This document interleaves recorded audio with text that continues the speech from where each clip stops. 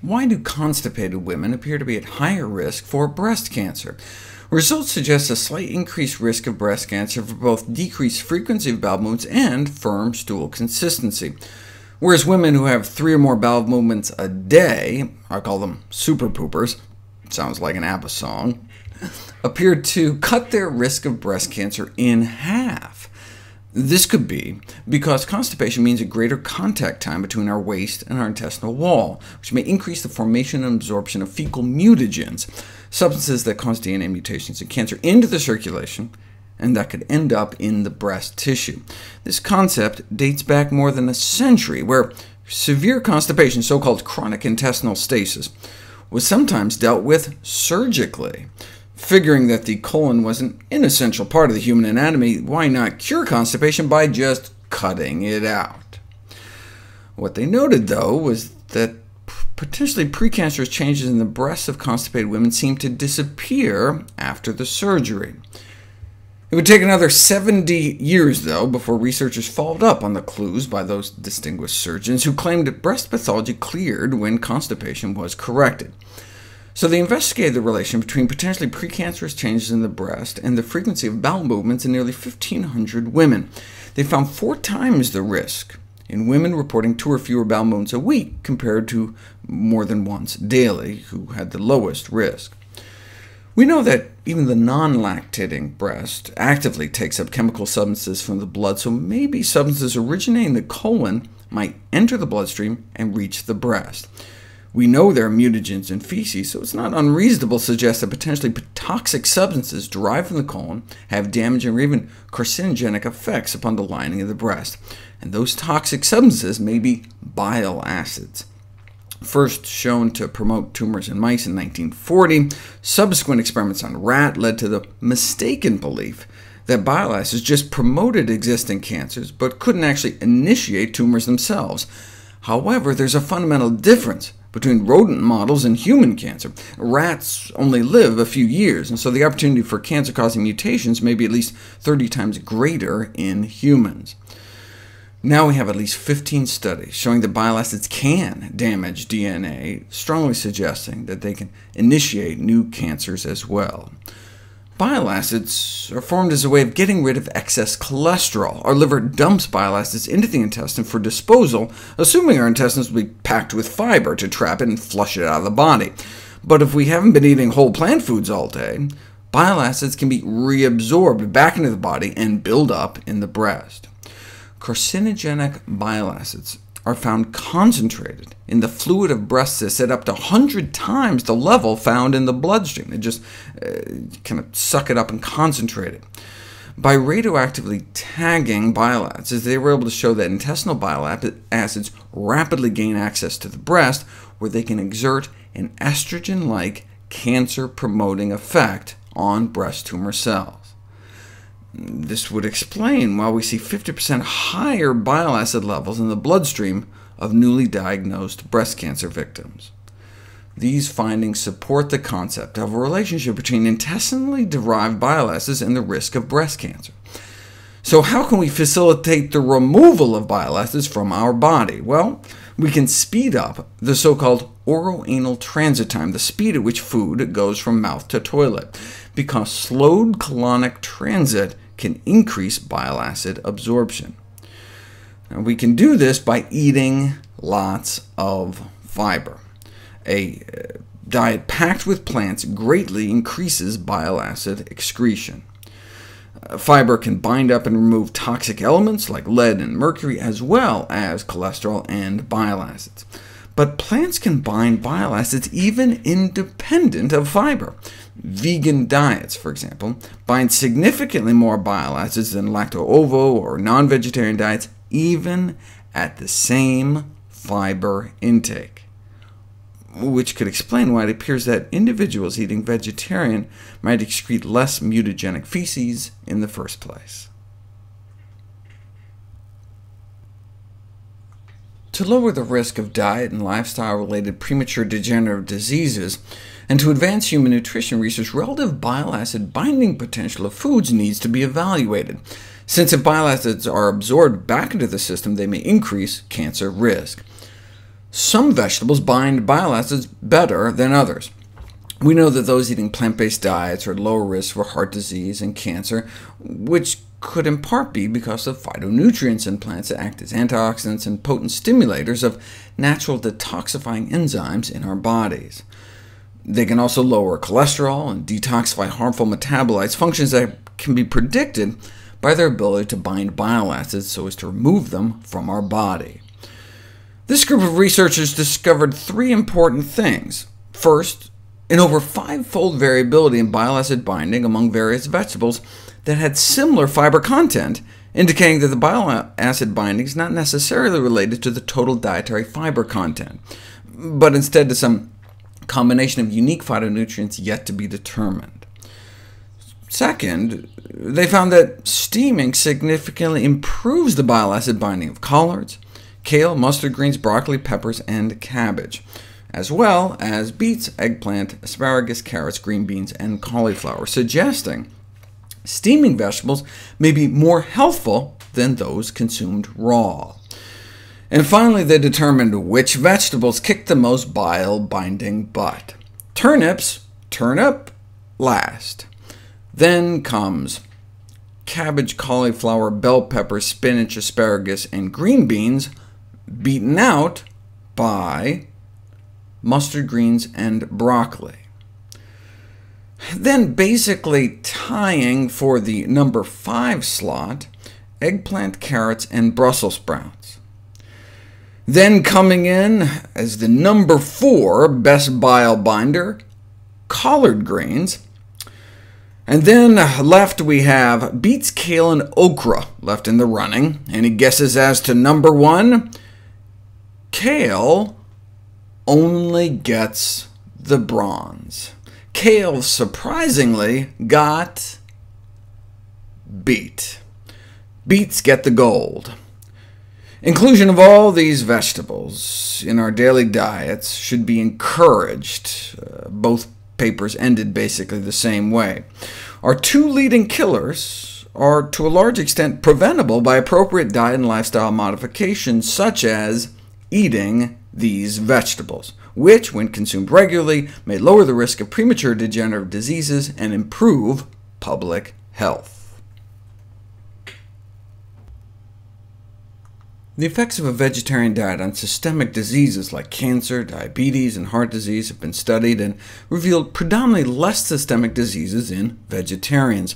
But there have only been a few studies on oral health, which I covered in previous videos. But what's the latest? In a study of 100 vegetarians compared to 100 non-vegetarians, the vegetarians had better periodontal conditions, less signs of inflammation like gum bleeding, less periodontal damage, and better dental home care, uh, brushing and flossing 2.17 times a day compared to 2.02 times a day. Not much of a difference, so maybe it was something about their diet, though vegetarians may have a healthier lifestyle overall beyond just avoiding meat. They control for smoking, but other things like obesity can adversely affect oral health, so there may be confounding factors. What we need is an interventional study, where they take people eating the standard Western diet, improve their diets, and see what happens. But no such study existed until now. With professional support of nutritionists, the participants of the study with existing periodontal disease changed their dietary patterns to so-called wholesome nutrition, a diet emphasizing veggies, fruits, whole grains, potato, potatoes, beans, peas, lentils, spices, with water as the preferred beverage. What a concept. To make sure any changes they witnessed were due to the diet, they made sure everyone maintained their same oral hygiene before and after the dietary change. What did they find? They found that eating healthier appeared to lead to a significant reduction of probing, pocket depth, uh, gingival inflammation, gum inflammation, and levels of inflammatory cytokines, which mediate the tissue destruction in periodontal disease. So maybe concluded that wholesome nutrition may improve periodontal health. Why, though? Yes, plant-based diets have a number of nutritional benefits in terms of uh, nutrient density, but it also may be about improving the balance between free radicals and our antioxidant defense system. Traditionally, dietary advice for oral health was just about avoiding sugar, which feed the bad bacteria on our teeth. But now we realize some foods and beverages, like green tea, possess antimicrobial properties to combat the plaque-producing bacteria directly. Streptococcus mutans has been identified as oral enemy number one. If plaque is caused by bacteria, though, why not just use antibiotics? Many such attempts have been made, however, undesirable side effects such as antibiotic resistance, vomiting, diarrhea, and teeth stains have precluded their use. In a petri dish, green tea phytonutrients effectively inhibited the growth of these bacteria, but what about in our mouth? They found that rinsing with green tea strongly inhibited the growth of plaque bacteria on our teeth within minutes. Seven minutes after swishing with green tea, the number of these bacteria in the plaque scraped from people's teeth was cut nearly in half. So if you have people swish with sugar water in their mouths, within three minutes the pH on their teeth can drop into the cavity formation danger zone. But if 20 minutes before swishing with that sugar water, you swish with some green tea, you wipe out so many plaque bacteria that the same sugar water hardly has any effect at all. So, they conclude using green tea as a mouthwash or adding it to toothpaste could be a cost-effective cavity prevention measure, uh, especially in developing countries, because here in the civilized world we have antiseptic mouthwashes with fancy chemicals like chlorhexidine, considered the gold standard anti-plaque agent, if only it didn't cause genetic damage. DNA damage has been detected in individuals who rinse their mouths with chlorhexidine-containing mouthwashes, and not just to cells in the mouth. 13 volunteers rinsed their mouth with the stuff for a few weeks, and there was not only an increase in DNA damage in the cells lining their cheeks, but also in their peripheral blood cells, suggesting it was absorbed into their bodies. Yes, it reduced plaque better than other antiseptic chemicals, However, it might be doubtful whether chlorhexidine can still be considered the gold standard when considering how toxic it is to human cells. So are we left with having to decide between effectiveness or safety? How about a head-to-head -head test between chlorhexidine and green tea? Green tea worked better than chlorhexidine at reducing plaque. So using green tea as a mouthwash may work cheaper, safer, and better. And if as a bonus you want to Sprinkle some amla powder into it, dried Indian gooseberry powder. It evidently shows an outstanding cavity-stopping potential, not by killing off the bacteria like green tea, but just by suppressing the bacteria's plaque-forming abilities. Here's how much plaque is formed without amla. Here's how much is formed with.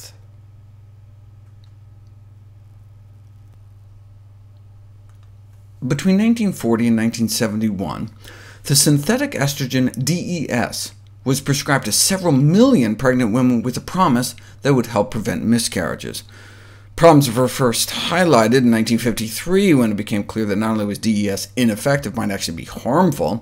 However, a powerful and emotive advertising campaign ensured that its use continued until 1971, when it was found to cause cancer of the vagina in the daughters of the mothers who took it. DES was also used to stunt the growth of girls who were predicted to grow abnormally tall. As one pediatric textbook put it in 1968, excessive tallness in girls can be a handicap. It provides difficulty in purchase of smart clothes. The victim is ineligible for certain sought-after professional positions such as airline hostess, and poses problems in selecting suitable dancing partners.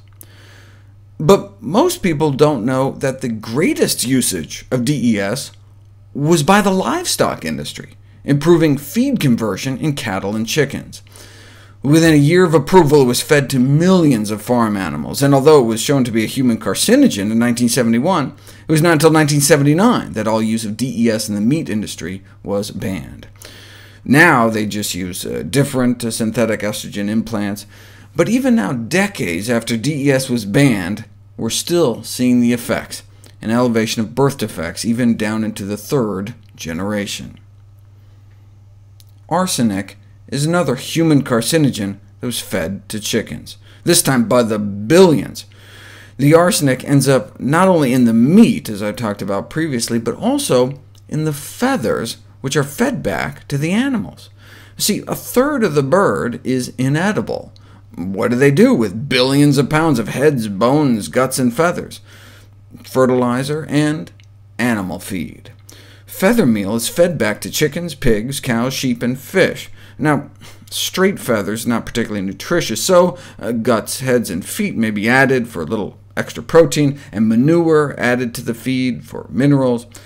The problem is that feather meal used as animal feed could contribute to additional arsenic exposure in persons who consume meat. This gave researchers an idea, though. Uh, by testing feather meal, they might be able to find out what else chickens are fed. Feather meal, a previously unrecognized route for re-entry into the food supply of multiple pharmaceuticals and personal care products.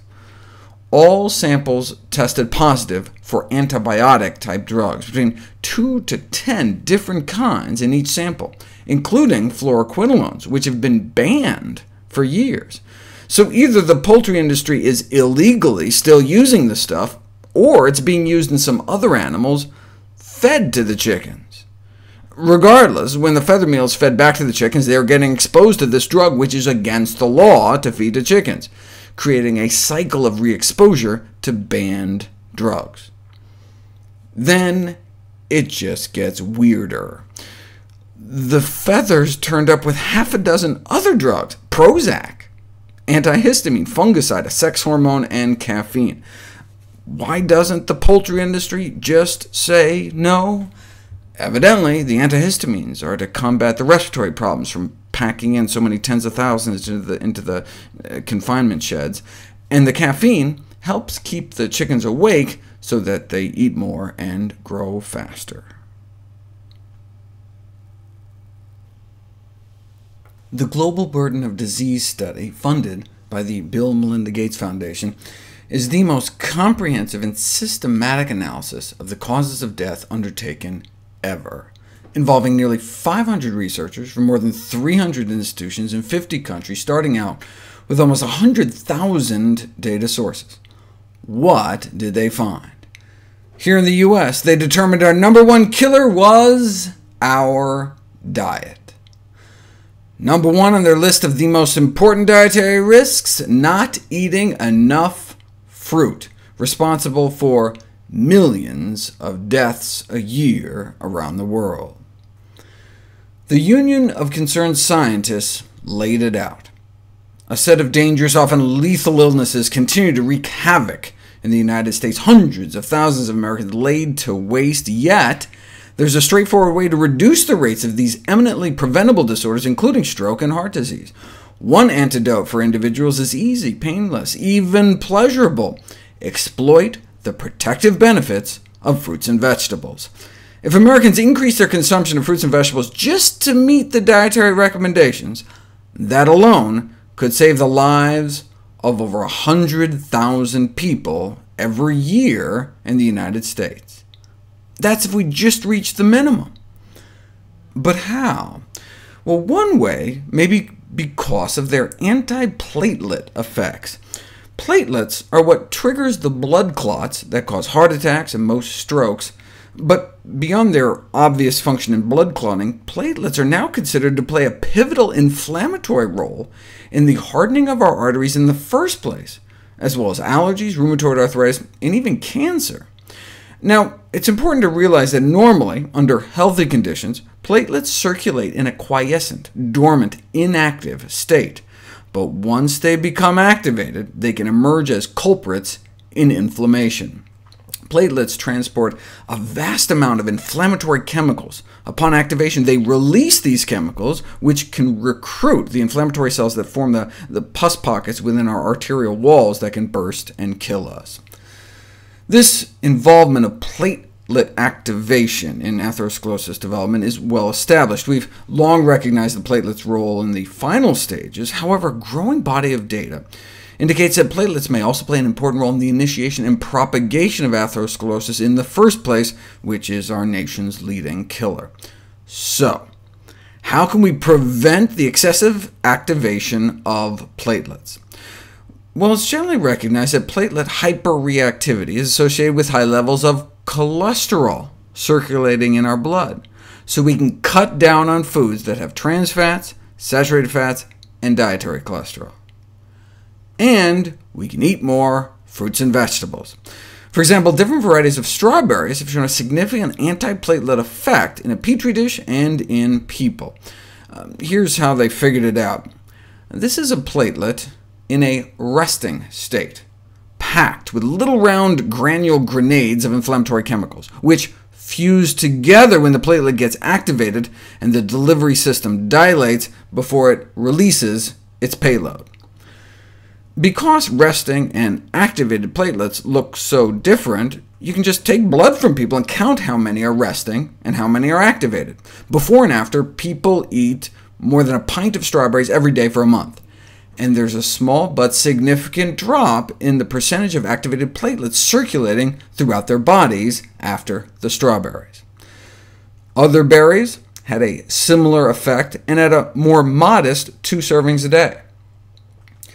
Drinking orange or grapefruit juice did not seem to help, but purple grape juice did successfully reduce platelet activity on the same order that aspirin does. Uh, studies have shown a daily aspirin can reduce heart attacks and strokes. However, aspirin can also cause severe gastrointestinal disturbances and bleeding problems, so should not be used for primary prevention of heart attacks and stroke as the benefits don't clearly outweigh the serious risks. So it's nice to have a safe, side effect-free alternative. When I used to teach medical students at Tufts, I gave a lecture about this amazing new therapeutic called Ilacor B. I talk about all the new science, all the things it could do, excellent safety profile, and just as they were all scrambling to buy stock in the company and prescribe it to all their patients, I did the big reveal, apologizing for my dyslexia. I had gotten it backwards. All this time, I had been talking about broccoli. Sulforaphane is thought to be the active ingredient in broccoli, which may protect our brain, protect our eyesight, protect our from free radicals, induce our detoxification enzymes, help prevent cancer, as well as help treat it. For example, I've uh, talked about how sulforaphane uh, can target breast cancer stem cells.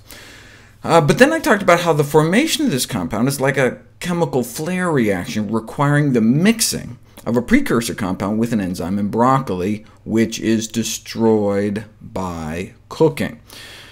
This may explain why we get dramatic suppression of cancer cell growth from raw broccoli, cauliflower, Brussels sprouts, but hardly anything from boiled, microwave, or steamed, except for microwave broccoli that actually retained some cancer-fighting abilities. But who wants to eat raw Brussels sprouts? I shared a strategy, though, for how to get the benefits of raw in cooked form.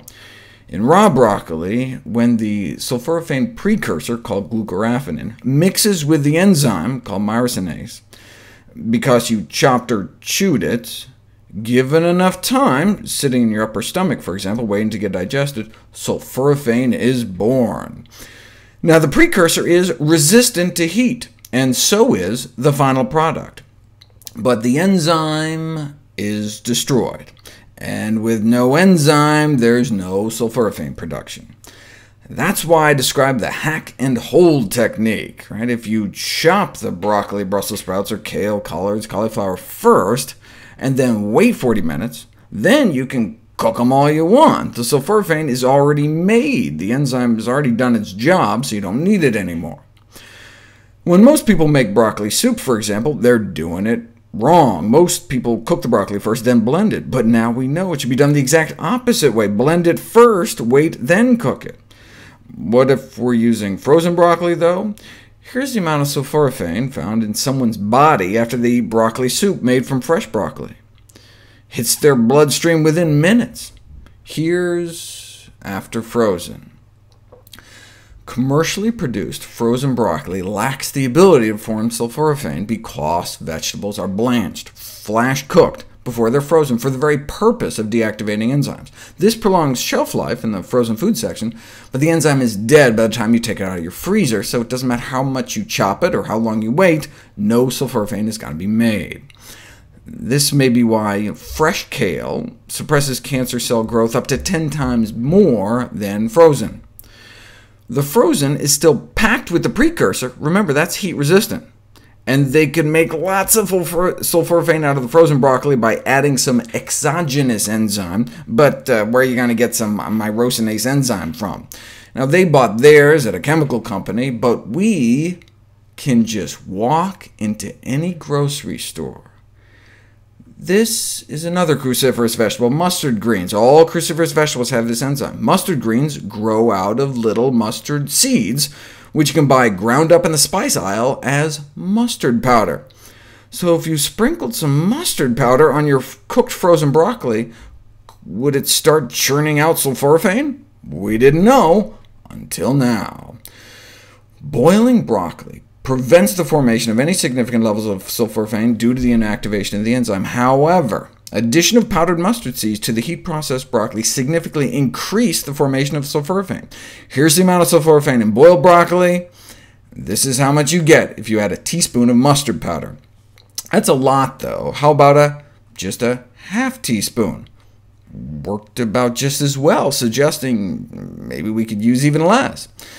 Domestic cooking leads to enzyme inactivation of myrosinase, and hence stops sulforaphane uh, formation, but addition of powdered mustard seeds to cooked cabbage family vegetables provides a natural source of the enzyme, and then it's like you're practically just eating it raw.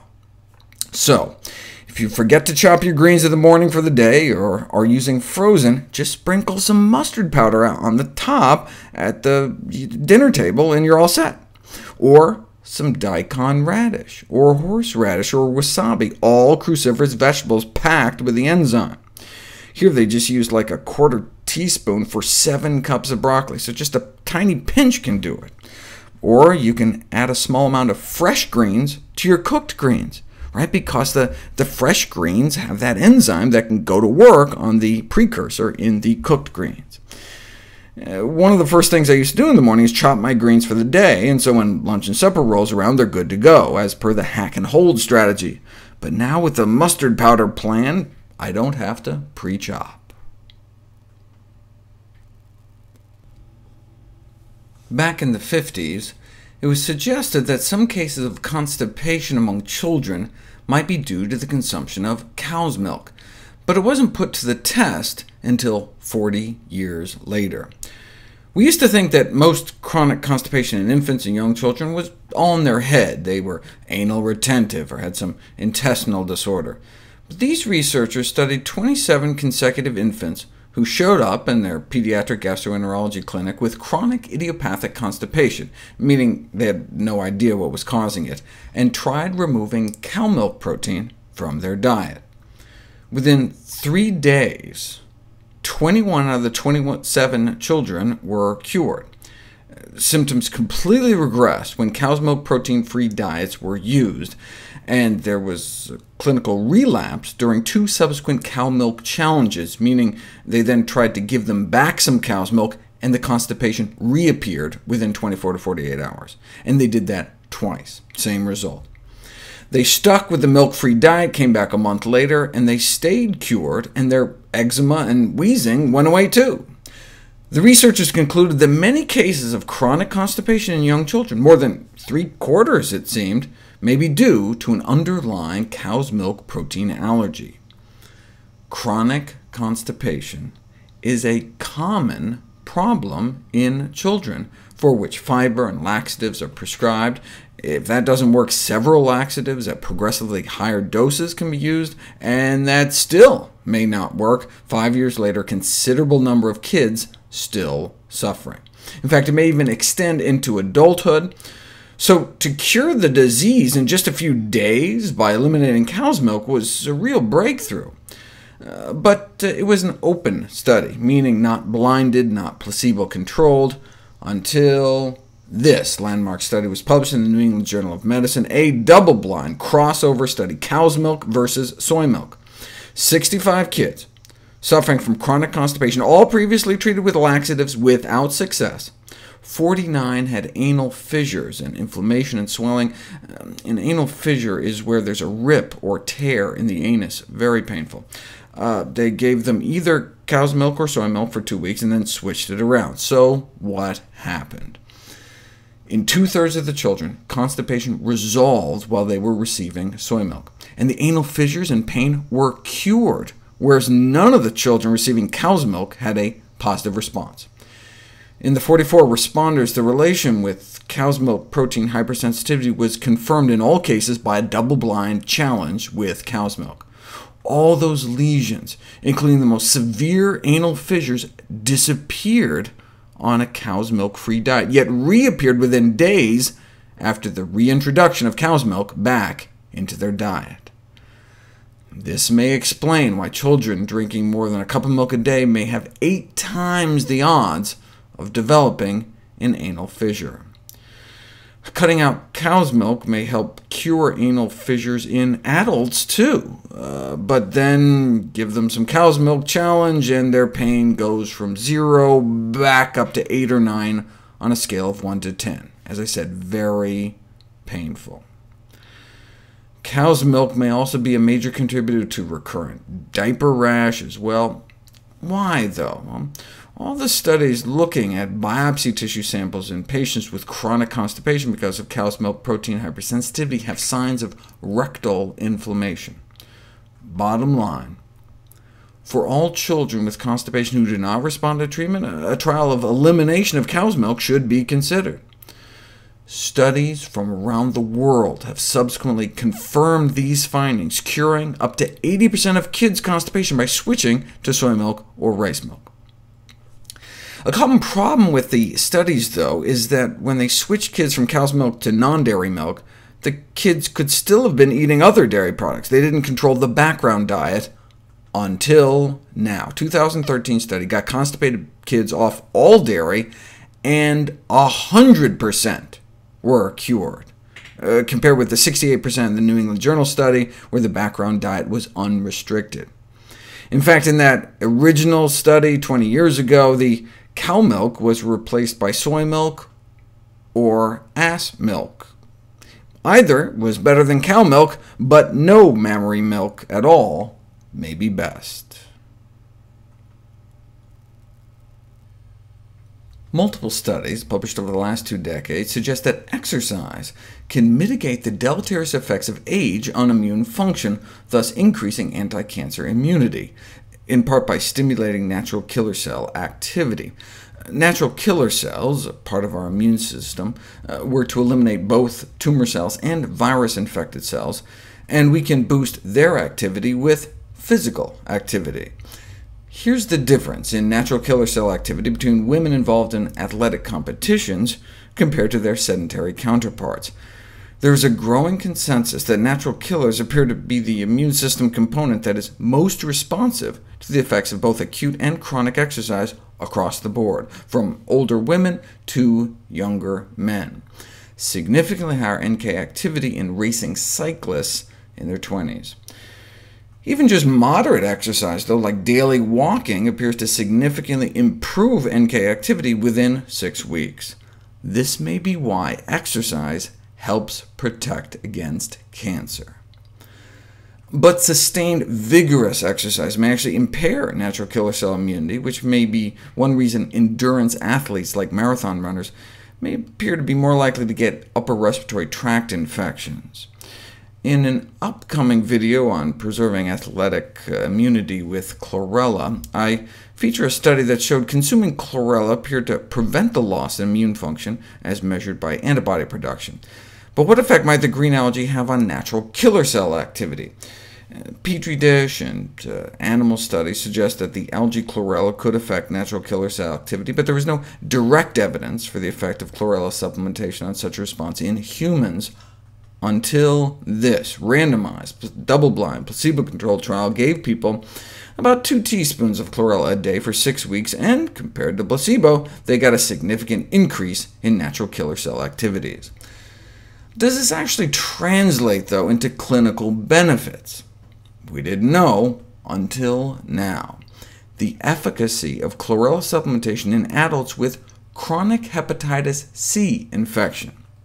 It's estimated that up to 4 million people in the U.S. have chronic hepatitis C virus infection, the leading cause of liver transplants, and estimated to kill a quarter million Americans this decade. The current treatment is costly and brutal, uh, costing up to about uh, $85,000, and nearly half can't even complete the course of drugs, due in part to the many complications associated with the treatment. So that's why there's such a need for novel treatment options. After three months of chlorella, there were reported improvements in quality of life, but that could have just been a placebo effect since the control group wasn't given like green sugar pills. This, however, is harder to explain. A significant improvement in ALT, which is a, a, marker of liver inflammation, which could be explained by beneficial immunostimulatory effect of chlorella supplementation. No serious adverse effects are reported, so why not give it a try? Well, the brand they used was tied to a disturbing case report recently, chlorella-induced psychosis. A 48-year-old woman in Omaha suffers a psychotic break out of the blue two months after starting chlorella. They stopped it and started her on an antipsychotic drug, and a week later she was fine. Now, chlorella has never been linked to psychosis before, so presumably it was just a coincidence that the psychosis started after she started taking chlorella, and the reason she felt better after stopping it was because the drug was kicking in. But seven weeks later, still on the drug, she became psychotic again after starting back on the chlorella. They stopped the chlorella again, this time that's all they did, and the psychosis resolved. Now, Maybe it wasn't the chlorella itself, but some toxic impurity or adulteration, we don't know.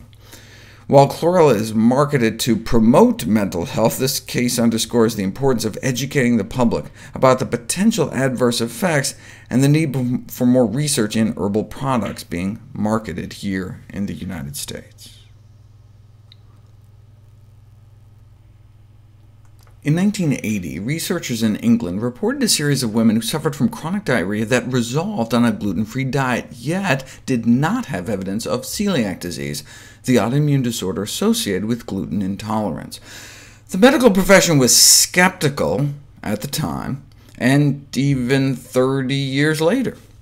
So much so that, much like patients who had irritable bowel syndrome, patients claiming non-celiac gluten sensitivity were commonly referred to psychiatrists because they were believed to have an underlying mental illness. Psychological testing of such patients, however, found no evidence that they were suffering from some kind of psychosomatic hysteria. The medical profession has a history of dismissing diseases as all in people's heads. Uh, PTSD, ulcerative colitis, migraines, ulcers, asthma, uh, Parkinson's, uh, MS. Despite resistance from the prevailing medical community at the time, these health problems have subsequently been confirmed to be credible, physiologically based disorders rather than psychologically based confabulations. On the flip side, the internet is rife with unsubstantiated claims about gluten-free diets, uh, which has spilled over into the popular press to make gluten the diet villain du jour, with claims like 17 million Americans are gluten-sensitive. However, it must be remembered that this is also big business. When literally billions of dollars are at stake, it's hard to trust anybody. So as always, best to stick to the science. What sort of evidence do we have for the existence of a condition presumed to be so widespread? Not much. The evidence base for such claims was unfortunately very thin, because we didn't have randomized controlled trials demonstrating that the entity even exists. Uh, the gold standard for confirming non-celiac gluten sensitivity requires a gluten-free diet followed by a double-blind, randomized, placebo-controlled food challenge. Uh, like you give someone a muffin, and they're not told if it's a gluten-free muffin or a gluten-filled muffin to control for placebo effects and see what happens. The reason this is necessary is because when you actually do this, a number of quote-unquote gluten-sensitive patients don't react at all to disguised gluten, and instead react to the gluten-free placebo, so it truly was in their heads. But we never had that kind of level of evidence until 2011 when a double-blind, randomized, placebo-controlled trial was published which tested to see if patients complaining of irritable bowel-type symptoms who claimed they felt better on a gluten-free diet, despite not having celiac disease, actually could tell if they were given gluten-free um, uh, uh, bread and muffins or gluten-containing bread and muffins. They started out gluten-free and symptom-free for two weeks, and then they were challenged with the bread and muffins. Here's what happened to the 15 patients who got the placebo, meaning they started out on a gluten-free diet and continued on a gluten-free diet, they got worse. Just the thought that they may be eating something that was bad for them made them feel all crampy and bloated. This is what's called a nocebo effect. The placebo effect is when you give someone something useless and they feel better. The nocebo effect is when you give someone something harmless and they feel worse. But the small group that got the actual gluten felt worse still. So they concluded this non-celiac gluten intolerance may actually exist. It was a small study, though, and even though they claimed the gluten-free bread and muffins were indistinguishable, maybe at some level the patients could tell which is which. So, in 2012, researchers in Italy took 920 patients that had been diagnosed with non-celiac gluten sensitivity and put them to the test with a double-blinded wheat challenge by giving them not bread and muffins, but capsules filled with wheat flour or filled with placebo flour, or kind of placebo powder, no flour at all. And more than two-thirds failed the test, uh, like they got uh, worse on the placebo or better on the wheat. But of those that passed, there was a clear benefit to staying on the wheat-free diet, confirming the existence of a non-celiac wheat sensitivity. Now, note they said wheat sensitivity, not gluten sensitivity.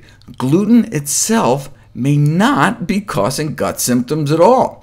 See, most people with wheat sensitivity have a variety of other food sensitivities. Uh, Two-thirds are sensitive to cow's milk protein as well. Then eggs were the most common culprit after that. So if you put people on a diet low in common triggers of irritable bowel symptoms, and then challenge them with gluten, there's no effect. Same increase in symptoms with high gluten, low gluten, or no gluten right? Calling into question the very existence of non-celiac gluten sensitivity. Interestingly, despite being informed that avoiding gluten wasn't apparently doing them uh, doing a thing for their gut symptoms, many participants opted to continue following a gluten-free diet, as they just subjectively described feeling better. So the researchers wondered if avoiding gluten might be improving the mood of those with wheat sensitivity, and indeed. Short-term exposure to gluten appeared to induce feelings of depression in these patients. But whether non-celiac gluten sensitivity is a disease of the mind or the gut, it is no longer a condition that can be dismissed.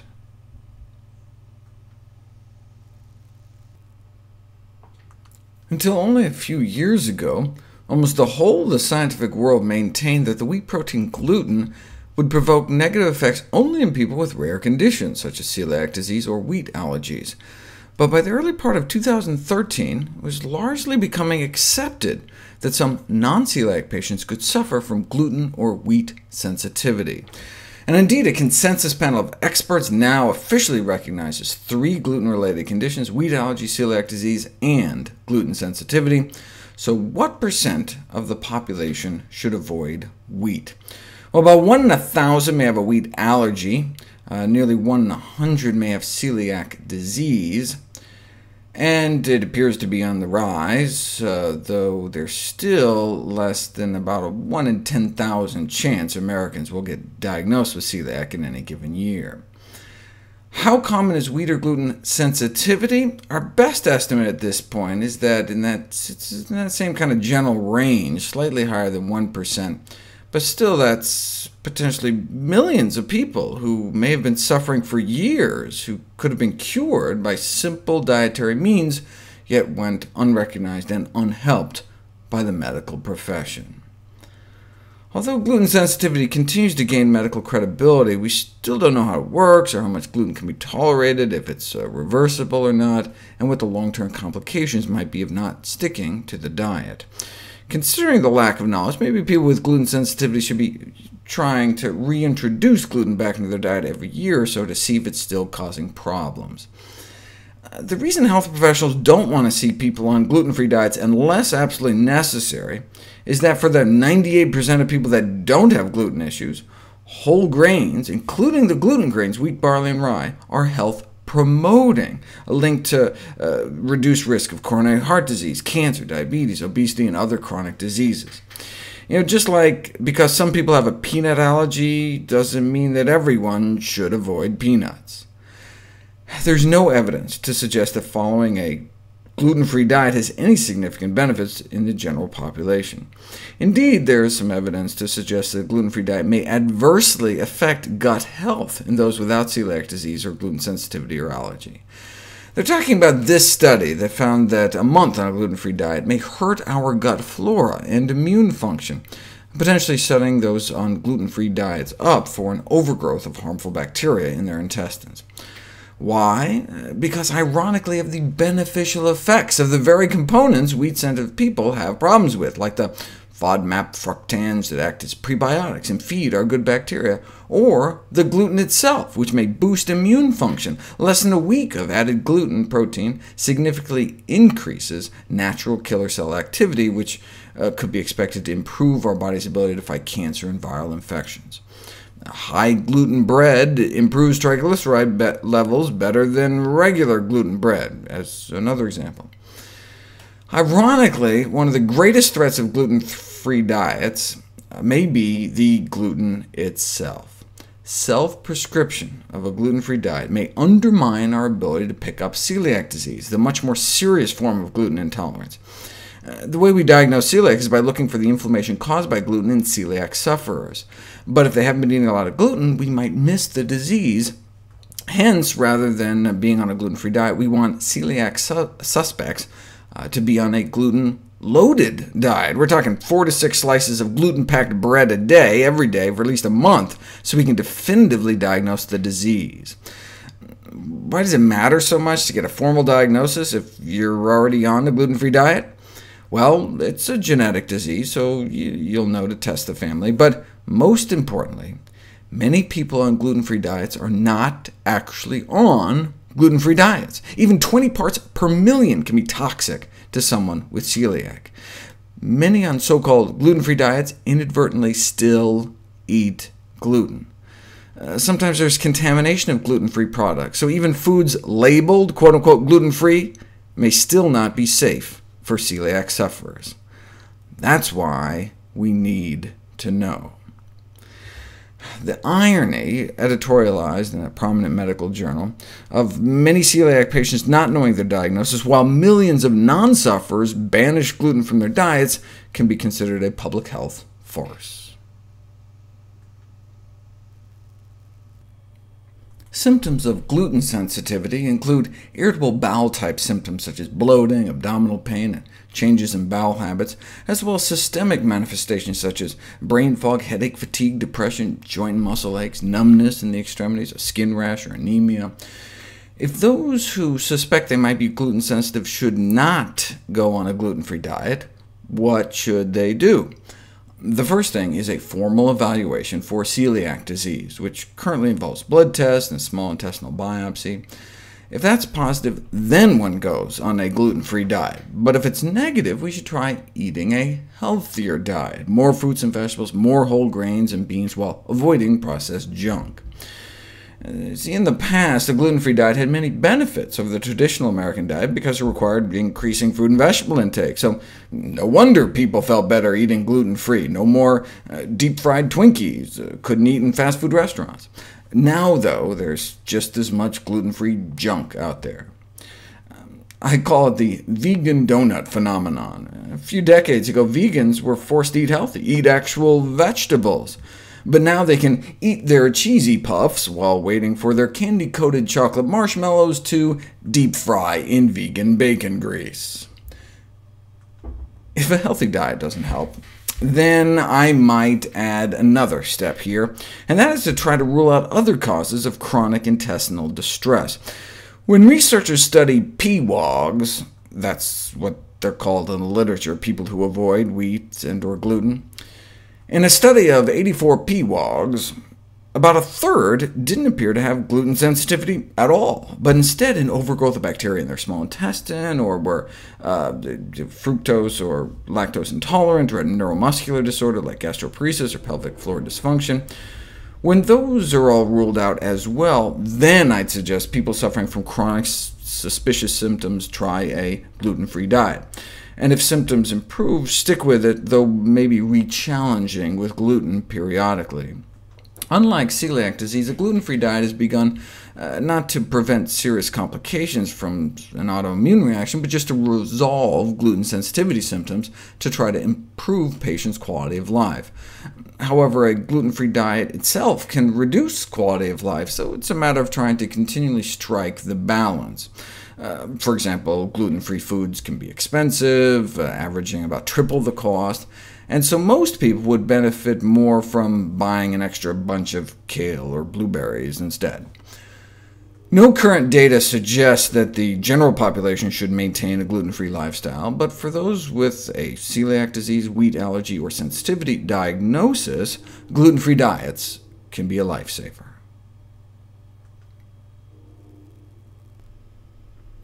I've talked previously about the anti-diabetic and anti-obesity effects of various phytochemicals in beans, but there are protective effects on the cardiovascular system as well. Plant-specific compounds can have a remarkable impact on the healthcare system, may provide therapeutic health benefits, including the prevention and or treatment of diseases and disorders antioxidant effects, anti-inflammatory, liver protective, blood cholesterol lowering, blood pressure lowering, as well as prevention of aging, diabetes, osteoporosis, DNA damage, heart disease, and other disorders. Those without legumes in their daily diet, for example, may be at quadruple the odds of suffering high blood pressure. Legumes, such as chickpeas, have been used to treat high blood pressure and diabetes for thousands of years. Here's what they can do to our cholesterol levels. Researchers took people on a diet high enough in fat to rival the cholesterol levels in the Western world, around 206, swapped in chickpeas for the grains that they were eating, and in five months their cholesterol dropped about 20% to 160, almost down to the target, which is around 150 a reduction of more than 15% in most of the subjects, and its sustained action during long-term administration not only indicate a definite benefit, but show that chickpeas are superior to many cholesterol-lowering substances. In a randomized crossover trial, adding two servings a day of lentils, chickpeas, beans, or split peas cut cholesterol levels so much that many participants moved below the range at which statin drugs are typically prescribed. But I'm going to go back to this study because they really buried the lead.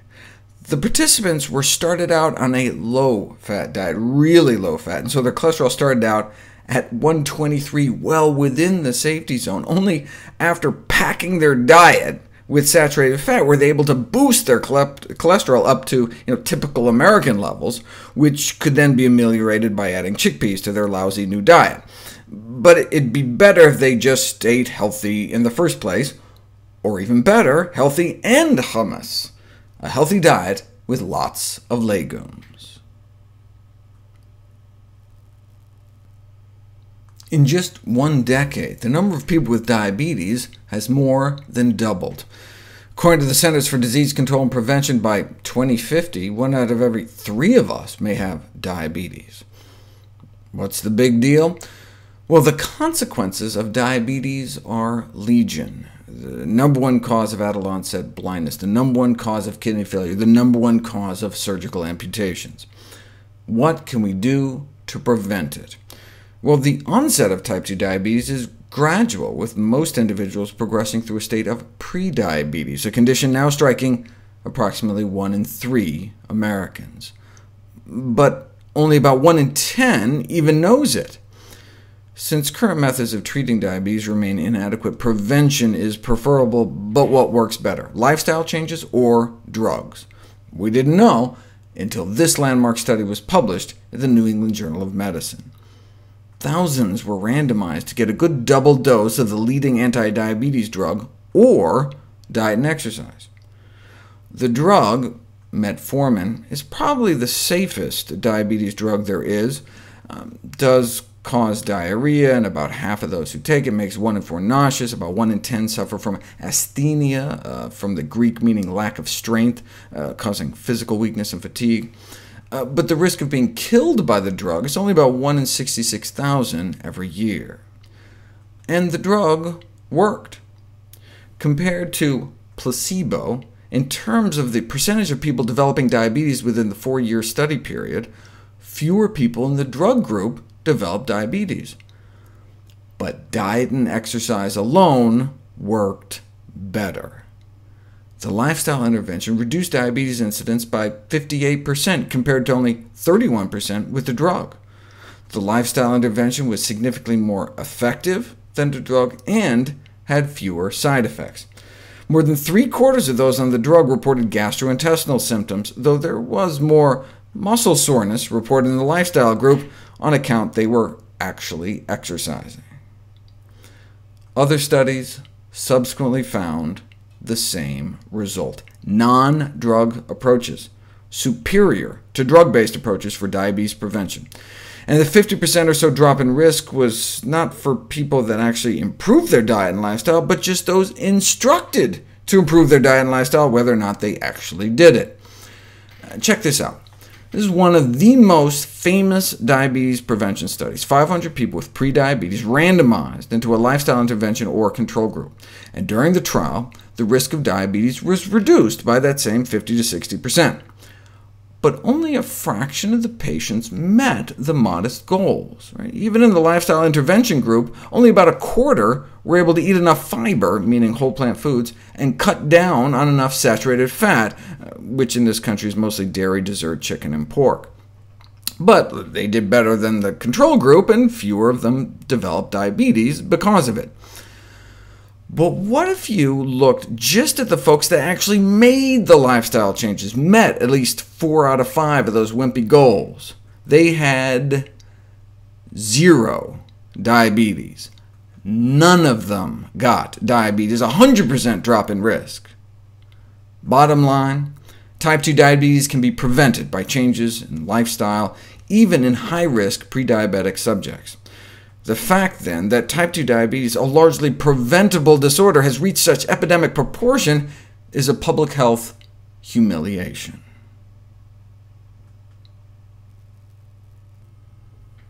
Prediabetes is not just a high-risk state for the development of diabetes. Prediabetes can be a disease in itself. People with prediabetes may already have damage to their eyes, kidneys, blood vessels, and heart. Evidence from numerous studies suggests that the chronic complications of type 2 diabetes start to develop during the pre-diabetic state. So by the time we have prediabetes, it may already be too late to prevent organ damage, so best to prevent prediabetes in the first place, and the earlier the better. 30 years ago, virtually all diabetes in young individuals was thought to be autoimmune type 1 diabetes. But since the mid-90s, we started seeing an increase in type 2 diabetes among our youth, particularly in the United States. Indeed, the term adult-onset diabetes has now been scrapped and replaced with type 2, because children as young as 8 are now developing the disease, and the effects can be devastating. A 15-year-old follow-up of children diagnosed with type 2 diabetes found an alarming rate in young adults of blindness, amputation, kidney failure, and death in young adulthood. Why the dramatic rise in childhood diabetes? Because of the dramatic rise in childhood obesity. During the past 30 years, the number of children diagnosed as being overweight has increased more than 100%. Uh, once an obese child reaches 6, they're likely to stay that way. And even if they don't, being overweight in our youth predicts adult disease and death regardless of adult body weight, even if we lose it. Being an overweight teen may predict disease risk 55 years later, twice the risk of dying from a heart attack, more cancer, gout, arthritis. In fact, being overweight as a teen was a more powerful predictor of these risks than being overweight in adulthood. This underscores the importance of focusing on preventing childhood obesity. So how do we do it? From the official American Academy of Pediatrics clinical practice guidelines, the problem appears to be kids eating too much fat and added sugars, and not eating enough fruits and vegetables. Doctors at every occasion, beginning soon after a child's birth, should endeavor to give sound advice regarding nutrition and growth so uh, that obesity and its complications may be curtailed. What might sound advice sound like? Well, the chair of the nutrition department at Loma Linda University published a paper suggesting not eating meat at all might be an effective strategy. Population studies have consistently shown that vegetarians are thinner than comparable non-vegetarians. This is uh, from the largest such study to date. A body mass index of over 30 is considered obese, 25 to 30 overweight, and under 25 ideal weight. The non-vegetarians were up at 28.8. The average meat eater in the U.S. is significantly overweight. As one gets more and more plant-based, the average BMI drops. But even the average vegetarian in the U.S. is overweight. The only dietary group that was on average ideal weight were those eating strictly plant-based. So that comes out to be about a 33-pound difference between the vegans and the meat eaters. Vegetarian children grow up not only thinner, but taller. Vegetarian kids grow to be about an inch taller than other kids. Uh, apparently, meat intake is somehow negatively associated with height. I can just hear the Dairy Council now saying, oh, it's because of all the milk the veggie kids must be drinking. No. The veg kids consume significantly less dairy and much lower animal protein intake overall.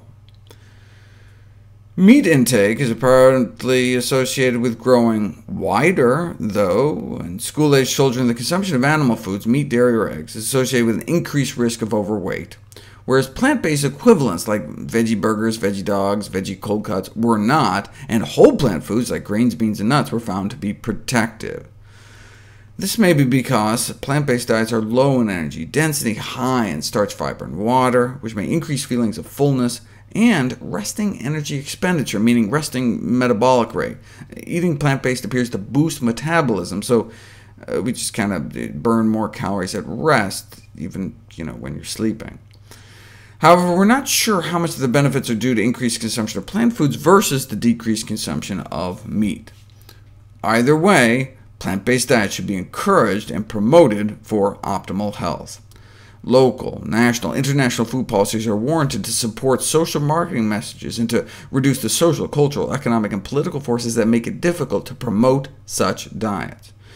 Uh, for example, although the advice to consume a plant-based diet is sound, questions arise regarding the relative high price of produce. Yes, we can reduce the burden of childhood obesity, prevent the further threat, spread of disease, but we need to ensure that plant foods are affordable and accessible to children of all income levels. Fruits and vegetables may not fit on the dollar menu, but our kids are worth it. Getting diabetes in childhood cuts nearly 20 years off their life. Who among us wouldn't go to the ends of the earth to enable our kids to live 20 years longer?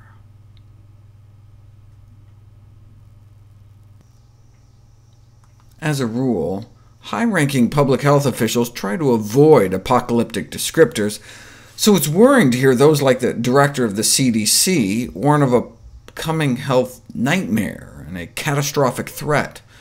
A number of prominent publications recently warn of the threat of antibiotic resistance. The CDC estimates that at a minimum, more than 2 million people are sickened every year with antibiotic-resistant infections in the United States, with at least 23,000 dying as a result. we may be at the dawn of a post-antibiotic era. Achievements in modern medicine, such as surgery and the treatment of preterm babies, which we today take for granted, would not be possible without access to effective treatment for bacterial infections. For example, without antibiotics, the rate of postoperative infection after a procedure like a hip replacement would be 40 to 50%, and about 1 in 3 of those patients would die. That's like Russian roulette odds. So the so-called worst-case scenarios, where resistant infections could cost like $50 billion a year, might still be an underestimate. From cradle to grave, antibiotics have become pivotal in safeguarding the overall health of human society. So the dire phrasing from head officials may be warranted. There are now infections like carbapenem-resistant Enterobacter, resistant to nearly all antibiotics, even the so-called drugs of last resort. Worryingly, some of these last resort drugs are being used extensively in animal agriculture. According to the World Health Organization, more antibiotics are fed to farm animals than is used to treat disease in human patients. Doctors overprescribe antibiotics, but huge amounts of antibiotics are used in fish farming and other intensive animal agriculture, up to four times the amount used in human medicine. Why? Suboptimum growth to slaughter weight caused by unsanitary conditions can be compensated with by addition of antibiotics to feed. Instead of relieving any stressful, overcrowded, unhygienic conditions, it may be cheaper to just you know, dose the animals with drugs. In this way, factory farms are driving the growth of antibiotic-resistant organisms that cause human diseases.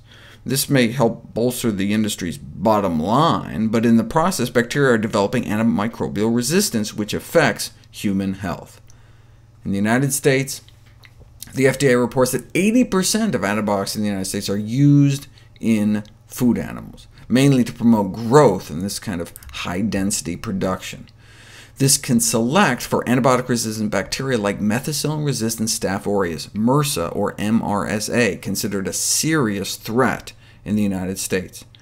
These industrial pig operations may provide optimal conditions for the introduction and transmission of MRSA. U.S. pork producers are currently permitted to use 29 different antibiotic drugs in feed without a prescription. They're currently added to about 90% of pig starter feeds. When animals receive unnecessary antibiotics, bacteria can become resistant to the drugs then travel on meat to the store, and end up causing hard-to-treat illnesses in people. MRSA present in retail raw meat may serve as a possible source of bacterial infections for food preparers in the food industry and the hands of consumers in the home, unless you wear gloves. Uh, once MRSA gets into our homes on meat, it can transfer to our cutting boards, knives, and onto our skin, at a rate similar to the rate of transmission from touching an infected patient contaminated with MRSA. Washing of hands after touching raw pork is advised.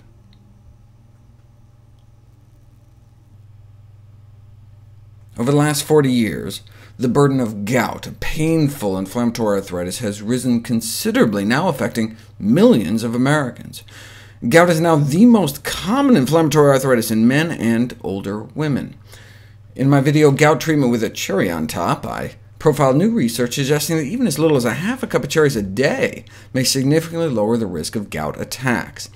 Uh, fresh cherries aren't always in season, though, so I listed a few alternatives, and frozen appeared second best, with cherry juice concentrate the runner-up. But does concentrated cherry juice actually help prevent attacks of gout? We didn't know until now. The first pilot study was a randomized controlled trial, cherry juice concentrate versus pomegranate juice concentrate as a control, for the prevention of attacks in gout sufferers who were having as many as four attacks a month. Uh, the cherry group got a tablespoon of cherry juice concentrate twice a day for four months, and the control group got a tablespoon of pomegranate juice concentrate twice a day for four months. The number of gout flares in the cherry group dropped from an average of 5 down to 2, better than the pomegranate group, which only dropped from about 5 to 4. and about half of those in the cherry group who were on prescription anti-inflammatory drugs were able to stop their medications within two months after starting the cherry juice, as opposed to none of the patients in the pomegranate juice group. The second study was a retrospective investigation over the longer term. 24 gout patients went from having about 7 attacks a year down to 2. The researchers conclude cherry juice concentrate is efficacious for the prevention of gout flares. Certainly large, long-term randomized controlled trials are needed to further evaluate the usefulness of cherries and cherry juice concentrate for gout flare prophylaxis, but in the meanwhile, are cherries now ripe for use as a complementary therapeutic in gout? This commentator is of the opinion that the current state of evidence remains insufficient to formally recommend cherry fruit or cherry products as a complementary therapeutic remedy for gout. Why not? Can you guess who this guy is? This commentator is also a paid consultant of nine different drug companies, all of which manufacture gout medications. I understand how the pharmaceutical industry can get nervous seeing studies where half of patients were able to stop taking their gout drugs, given the billions of dollars at stake, but what's the downside of eating a half a cup of cherries a day, or worse comes to worse, a few spoonfuls of cherry juice?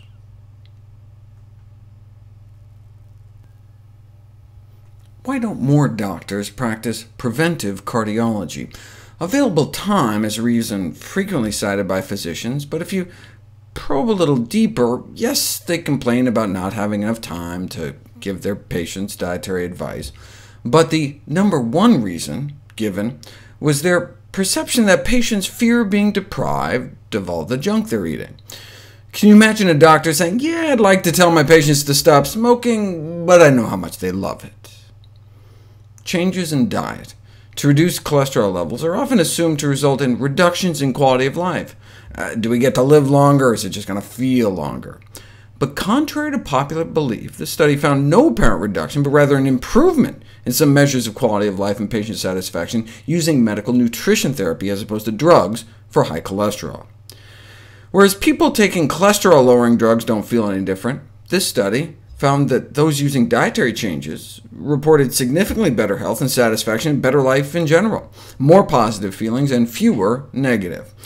In the Family Heart Study, for example, those placed on a cholesterol-lowering diet showed significantly greater improvements in depression, as well as a reduction in aggressive hostility.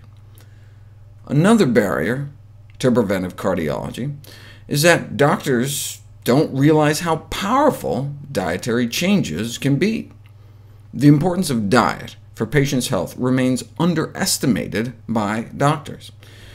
Even the new drug-centered cholesterol guidelines emphasize that lifestyle modification should be the foundation for the reduction for atherosclerotic cardiovascular disease risk, yet more than half of physicians may skip over lifestyle change completely, jump straight to their prescription pad, doubting that cholesterol goals can be reached with lifestyle changes alone. According to the director of the famous Framingham Heart Study, the best way to manage coronary artery disease is to lower patients' LDL cholesterol and other atherosclerosis-causing particles. You can achieve this with diet plus drugs, but if you can do it with a vegetarian diet, it works even better. In the Framingham Heart Study, those running in the Boston Marathon achieved the goal of getting their total to good cholesterol ratio under 4, but the vegetarians did even better. And if you go all out, putting people on a very high fiber, whole food, vegetable, fruit, and nut diet, you can get a 25% drop in the bad to good uh, cholesterol ratio within one week, a 33% drop in LDL. That's the cholesterol reduction equivalent to a therapeutic dose of a cholesterol-lowering statin drug.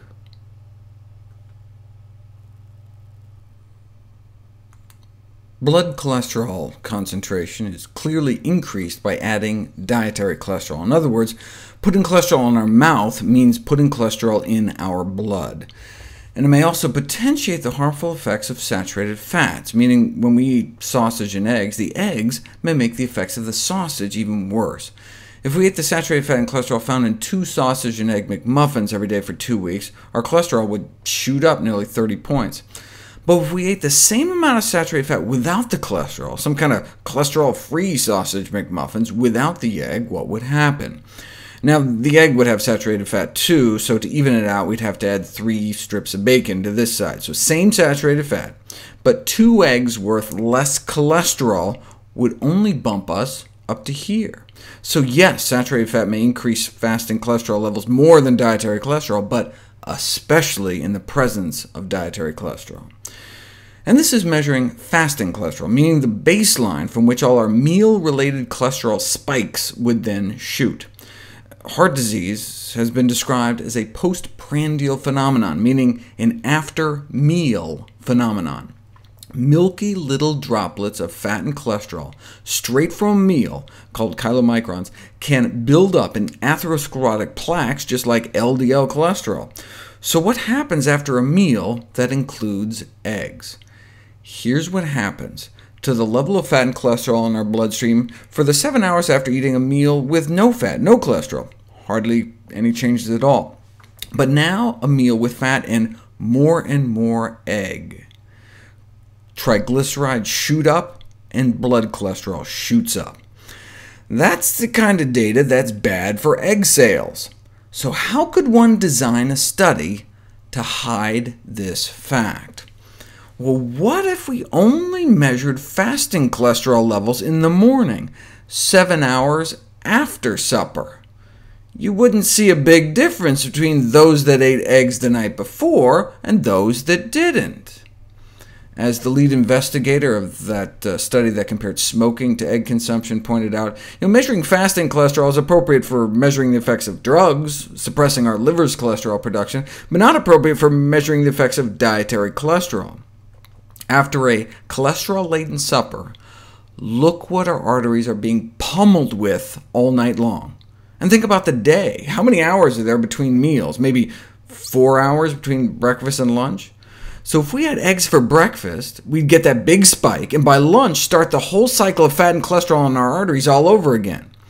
Most of our lives are lived in a postprandial state, in an after-meal state. And this shows that the amount of cholesterol in those meals, they actually used eggs in this study, so the amount of egg in our meals makes a big difference when it matters, after we've eaten, which is where we spend most of our lives.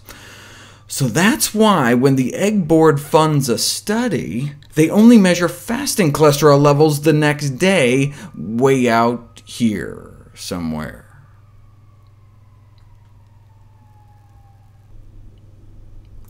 This is one of the craziest articles I saw all year.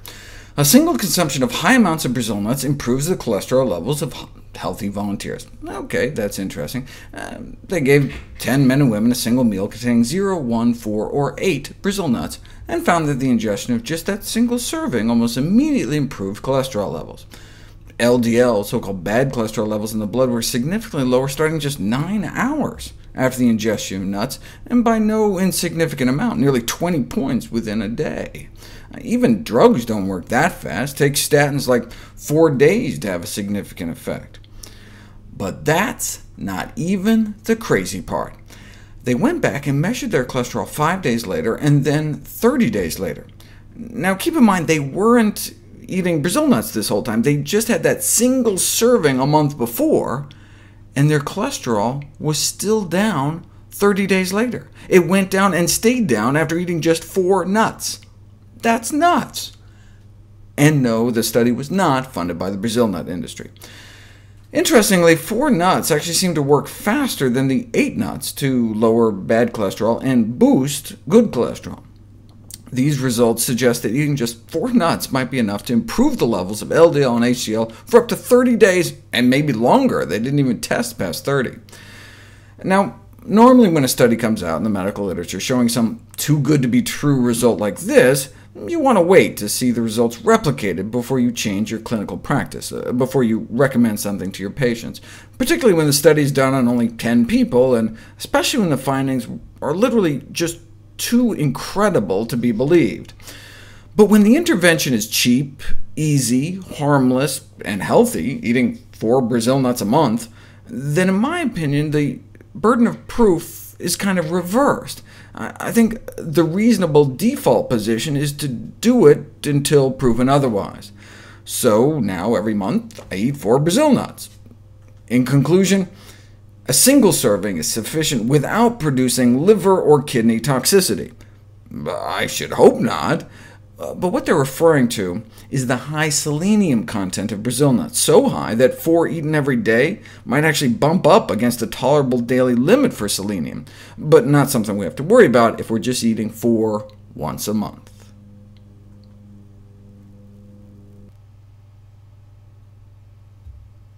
When the history of the world's attempt to address obesity is written, the greatest failure may be collaboration with and appeasement of the food industry. For instance, Yum Brands, who owns Kentucky Fried Chicken, linked up with a leading U.S. breast cancer charity to sell pink buckets of fried chicken.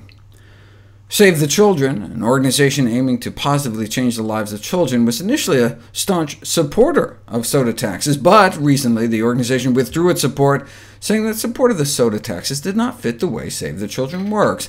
Perhaps it's only a coincidence that it was seeking a grant from Coca-Cola, and it accepted millions from Pepsi. Through these partnerships, the food industry seeks to emphasize that inactivity, not the promotion and consumption of its calorie-rich products, is the prime cause of obesity. Studies like this, though, showing that obesity is rising even in areas where people are exercising more, are most likely explained by the fact that our physical activity levels are being outstripped by our eating activity levels. The message is plain. The primary driver of the obesity epidemic in the United States is now the food supply, and interventions targeting physical activity are not going to resolve it. So, while physical activity is good regardless, it will not address most of the burden of ill health caused by obesity. This is going to require a new focus on the root cause of the problem, the American diet. At the heart of the energy inside of the obesity problem is the food and beverage industry. Put simply, the enormous commercial success enjoyed by the food industry is now causing what promises to be one of the greatest public health disasters of our time. As fast as we can rid the world of the microbial causes of pestilence and famine, they are replaced by new vectors of disease in the form of transnational food corporations that market salt, fat, sugar, and calories in unprecedented quantities. So policymakers should consider working on pricing strategies that subsidize the cost of healthier foods.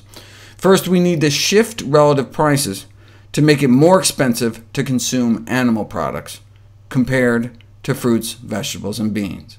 Second, we need to increase demand for plant foods, which is not as easy given the hundreds of billions of dollars in annual subsidies our taxpayer dollars going to make animal products artificially cheap.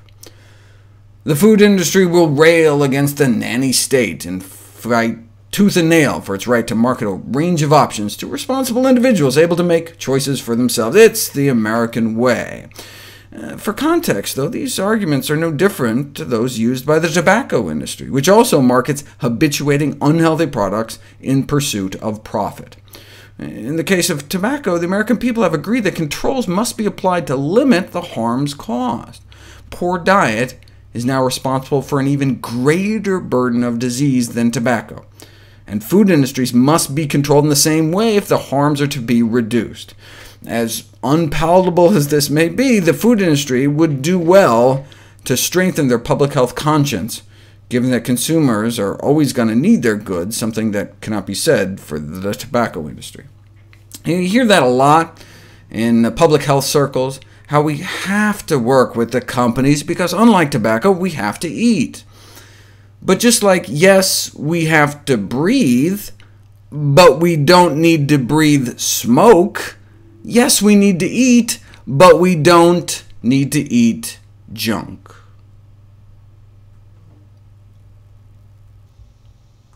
Dioxins are highly toxic pollutants that accumulate in tissue fat. Almost all dioxins found in humans uh, that aren't working at a toxic waste dump or something are believed to come from food, especially meat, milk, and fish, which account for probably about 95% of human exposure. Uh, we tend to only hear about it in the news, though, when there's some mass poisoning. In 1957, for example, millions of chickens began dying, uh, blamed on toxic components in certain feed fats. Uh, factory farming was taking off, and the industry needed cheap feed to fatten up the birds, and ended up using a toxic fleshing grease uh, from hide stripping operations in the leather industry that were using dioxin-containing preservatives. Uh, a subsequent outbreak in 69 uh, resulted from a pipe mix-up at a refinery that was producing both pesticides and animal feed. In the 1990s, a supermarket survey found the highest concentrations of dioxins in farm-raised catfish. The source of dioxins was determined to be the feed, but that's surprising since catfish aren't fed a lot of animal fat. In fact, that's one of the reasons people eat catfish, they're so low on the food chain. Turns out it was dioxin-contaminated clay added to the feed as an anti-caking agent, uh, which may have originally come from sewage sludge. The same contaminated feed was fed to chickens, so what may have started out in sewage sludge ended up on the plates of consumers in the form of farm-raised catfish and chicken. How widespread of a problem did it become? 5% of U.S. poultry production. That's people eating hundreds of millions of contaminated chickens. And if it's in the chickens, it's in the eggs. Elevated dioxin levels in chicken eggs, too. When the source of the feed contamination was identified, the USDA estimated that eh, less than 1% of animal feed was contaminated, but 1% of egg production means over a million eggs a day. But the catfish were the worst. More than a third of all U.S. farm-raised catfish were found contaminated with dioxins thanks to that ball clay. So the FDA requested that ball clay not be used in animal feeds. They even asked NICE, Dear producer or user of K-plot products in animal feeds, continued exposure to elevated dioxin levels in animal feed increases the risk of adverse health effects in those consuming animal-derived food products, uh, chicken, eggs, and fish. So we are recommending that the use of ball clay in animal feeds be discontinued. They look forward to the industry's cooperation. So how cooperative did the industry end up being? Half a billion pounds of catfish continued to be churned out of U.S. fish farms every year, but only recently did the government go back and check. Published in 2013, samples of catfish were collected from all over the country. Dioxins were found in 96% of samples tested. Yeah, but just because catfish are bought in the U.S. doesn't mean they come from the U.S., and indeed some of the catfish were imported from China or Taiwan, but they were found to be 10 times less contaminated than the U.S. catfish. And indeed, when they checked the feed fed to U.S. catfish, more than half the feed sampled were contaminated. And so it seems that mined clay products are still being used in U.S. catfish feeds. Even just small amounts of mineral clays added to fish feeds, together with the fact that catfish can be bottom feeders, uh, may lead to higher than acceptable dioxin residues in the final catfish products. Maybe the government should ask nicely again and wait another 16 years to retest. The Institute of Medicine suggests strategies to reduce dioxin intake exposure, such as trimming fat uh, from meat, poultry, and fish, and avoiding the recycling of animal fat into gravy. But if almost all dioxin intake comes from animal fat, then eating a more plant-based diet could wipe out about 98% of exposure. Thus, a vegetarian diet, or even just eating more plants, might have previously unsuspected health advantages, along with the more commonly recognized uh, cardiovascular benefits and decreased cancer risk. The United States has one of the highest premature birth rates in the world, now ranking 131st worldwide. Even worse, over the last few decades, the rate of preterm birth in the U.S. has been going up. We've known that preterm delivery is associated with significant problems during infancy and almost three-quarters of all infant deaths, but even preemies who survive past infancy can carry a legacy of health issues, such as behavioral problems, uh, and uh, moderate to severe neurodevelopmental disabilities and psychiatric disorders in half of those born extremely preterm by the time they reach school age. There's even evidence now that adults born very premature at increased risk for things like uh, heart disease and diabetes. And babies don't even have to be born that premature to suffer long-term effects. Even so-called near-term births at 36 or 37 weeks are now thought to be related to subtle developmental problems. So, what can pregnant women do to decrease this risk? I've talked about avoiding aspartame and diet soda consumption during pregnancy, but what about food? 66,000 pregnant women were studied to examine whether an association exists between maternal dietary patterns and risk of preterm delivery. They compared a so-called prudent diet, which was more plant-based, versus a Western diet or traditional Scandinavian diet, and found that the prudent pattern was associated with significantly reduced risk of preterm delivery. Their findings suggest that diet matters. Uh, but why and how? Well, Inflammation is thought to play a role in triggering delivery, and so a diet characterized by anti-inflammatory foods, high intakes of you know, vegetables, fruits, and berries, can reduce both systemic and local inflammation, and the lower saturated fat levels may also be associated with reduced inflammation. Any good foods in particular? Well, since a significant percentage of preterm deliveries are thought to be related to infections and inflammatory conditions in the genital tract, what about looking into garlic. Garlic is associated, is well known for its antimicrobial properties, and also has these prebiotic dietary fibers that feed our good bacteria. Speaking of which, dried fruit packed with fiber also have some antimicrobial activities against some of the bacteria suspected to play a role in preterm delivery, so they studied the garlic, onion, and dried fruit intake of nearly 19,000 pregnant women, and indeed, they observed a reduced risk of spontaneous preterm delivery related to groups of garlic and onion family vegetables and dried fruit. In particular, uh, garlic stood out for the vegetables and raisins for the dried fruit, associated with a reduced risk of both preterm delivery and preterm prelabor rupture of membranes, which means uh, your water breaking prematurely before 37 weeks. And it didn't seem to take much. The so-called high garlic intake, associated with the lowest risk, was just about one clove a week or more, and High raisin intake was defined as just like one of those little mini snack boxes of raisins a month.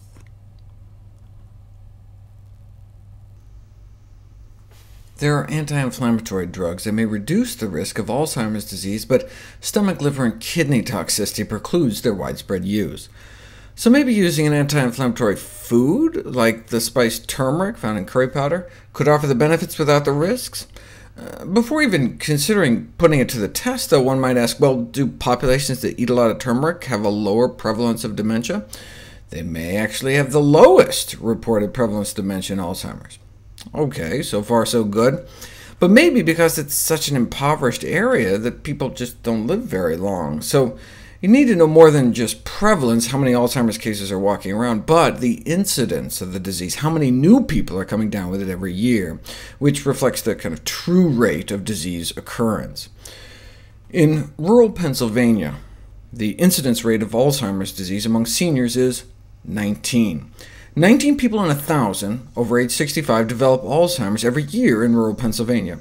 In rural India, using the same diagnostic criteria, that same rate is 3, confirming they have among the lowest reported Alzheimer's rates in the world. Although there isn't much to go on, the lower prevalence of Alzheimer's in India is generally attributed to the turmeric consu consumption as part of curry, and it's assumed that people who use turmeric regularly have a lower incidence of the disease, but let's not just assume. A thousand people tested, and those who consumed curry, at least occasionally, did do better on simple cognitive tests than those that didn't. Those that ate curry often had uh, only about half the odds of showing cognitive impairment after adjusting for a wide variety of potential confounding factors. This suggests that curry consumption may be associated with better cognitive performance. Of course, it probably matters what's being curried. Are we talking chicken masala or chana masala with chickpeas instead of chicks. It may be no coincidence that the country with the, among the lowest rates of Alzheimer's has among the lowest rates of meat consumption, with a significant chunk of the population eating meat-free and egg-free diets. We've known uh, for over 20 years now that those who eat meat, red meat or white meat, appear between uh, two to three times more likely to become demented compared to vegetarians, and the longer one eats meat-free, the lower the associated risk of dementia, whether or not you curry favor with your brain. What about treating Alzheimer's disease with the spice turmeric? An exciting case series was published in 2012. Three Alzheimer's patients treated with turmeric, and their symptoms declined along with the burden on their caregivers. Let me show you what these data mean in real lives. Case number one, 83-year-old woman started losing her memory, getting disoriented. Then she started having problems taking care of herself, wandering aimlessly, incontinent. After the turmeric, though, her agitation, apathy, anxiety, and irritability were relieved. She had less accidents. Furthermore, she began to laugh again, and sing again, and knit again. After taking turmeric for more than a year, she came to recognize her family, and now lives a peaceful life without a significant behavioral or psychological symptom of dementia. Case 2 was similar, but with hallucinations and delusions and depression, which appeared relieved by turmeric. She began to recognize her family again, and now lives in a peacefully serene manner. And the third case, similar as well including an improvement in cognition. The first demonstration that turmeric may be effective and safe for the treatment of the behavioral and psychological symptoms of dementia in Alzheimer's disease patients. Uh, they call it a drug, but it's just a spice you could walk into any grocery store and buy for a few bucks. Uh, they were giving people like a teaspoon a day, which comes out to be about 15 cents. Two trials using curcumin supplements rather than turmeric, however, failed to show a benefit. Curcumin is just one of hundreds of phytochemicals found in uh, turmeric. Concentrated into pill form at up to 40 times the dose, no evidence of efficacy was found. Why didn't they get the same dramatic results we saw in the three case reports? Well, those three cases may have been total flukes, but on the other hand, turmeric the whole food is greater than the sum of its parts. There's a long list of compounds that have been isolated from turmeric, and it's possible that each component in the mixture of curcumin-like compounds plays a distinct role in making it useful in Alzheimer's disease, and hence a mixture of compounds might better represent turmeric and its medicinal value, better than curcumin alone. But why concoct some artificial mixture when Mother Nature already did it for us with turmeric?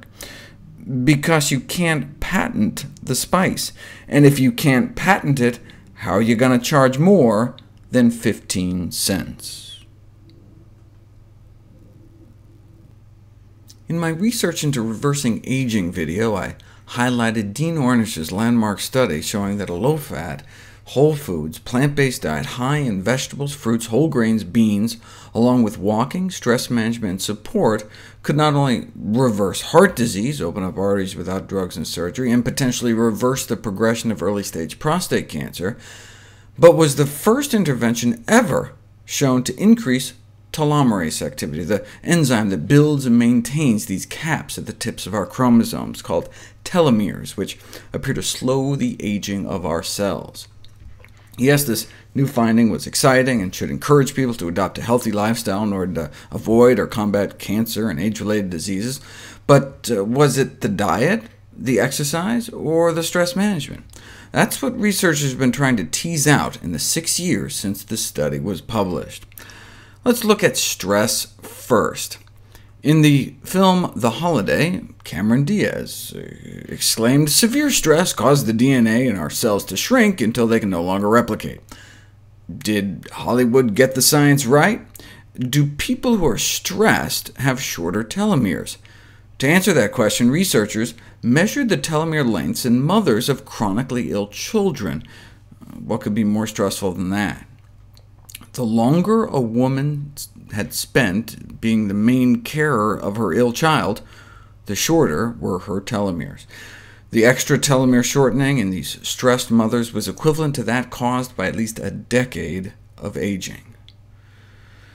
We see the same thing in caregivers of Alzheimer's patients, and in those suffering severe work-related exhaustion. Even those abused as children may grow up with shorter telomeres. Not much we can do about our past, but if we manage our stress, can we grow some of our telomeres back? Well, if you go off to a meditation retreat and meditate for 500 hours, you can indeed boost your telomerase activity. 600 hours of meditation may be beneficial as well. But come on, there's got to be a quicker fix, and this exciting new study delivered. Caregivers of family members with dementia randomized to just 12 minutes of daily meditation for 8 weeks, so just about 10 hours in total, experienced significant benefit. Better mental and psychological function accompanied by an increase in telomerase activity, suggesting improvement in stress-induced cellular aging. What about exercise for slowing cellular aging? Stress management help, but we can't always change our station in life, but we can always go out for a walk. Researchers studied 2,400 twins, and those that exercised more pumped up their telomeres along with their muscles. These were mostly folks in their 40s. Uh, does it still work in our 50s? Yes, those habitual exercisers were working out three hours a week better than the younger group. The heavy exercise group here was only averaging a half an hour a day. What happens if you study hardcore athletes? Here's the telomere lengths of young, healthy, regular folks at around age 20, and then age 50, which is what you'd expect. Our telomeres get eaten away as we age, but what about the athletes? They started out in the same boat, nice long, young, healthy telomeres capping all their chromosomes, and then at age 50, they appear to still have the chromosomes of a 20-year-old. But these were marathon runners, triathletes, running 50 miles a week for 35 years. That's worse than the meditation retreat study. And it doesn't help us with the original question. What was it about the Ornish intervention that so powerfully protected telomeres after just three months? We saw that just stress management seemed to help, but what about the diet versus exercise? Was it the plant-based diet? Was it the walking 30 minutes a day? Or was it just because of the weight loss? In those three months, participants lost about 20 pounds. Maybe our telomeres are happy if we lose 20 pounds using any method, uh, starting a cocaine habit, getting tuberculosis, whatever. To answer this critical question, was it the plant-based diet specifically, the exercise, or the weight loss? Ideally, you do a study where you randomize people into at least three groups, a control group that did nothing, sedentary with a typical diet, a group that just exercised, and a group that lost weight eating pretty much the same diet, but just in smaller portions. And I'm happy to report in 2013 just such a study was published. They took 400 women and randomized them into four groups, a portion-controlled diet group, an exercise group, and a portion-controlled diet and exercise group for a full year. And here they are. This is how long the telomeres were at baseline. After a year of doing nothing, there was essentially no change in the control group, which is what we'd expect.